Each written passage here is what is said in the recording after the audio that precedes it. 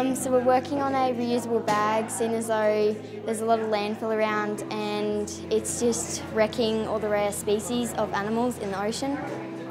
Since um, rubbish bags are going to be um, banned beginning of July, if we make the bag, we might get other people to start making it too.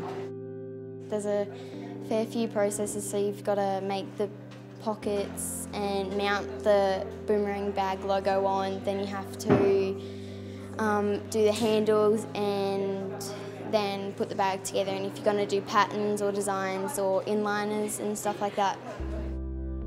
I've made my bag, my actual bag part. I'm making my handles now.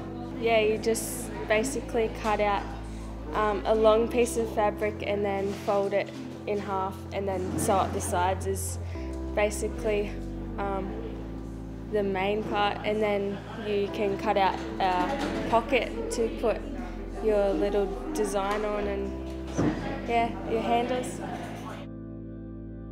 So I'm making a bag and it's out of like neon colours. My pocket is a picture of like a pool, the colours of it. Um, then we've got the pocket is the pocket has the mounting of the boomerang bag and then the handles are um, flamingos. It's just easy to make these because we can reuse them instead of wasting them and chucking them in the bin.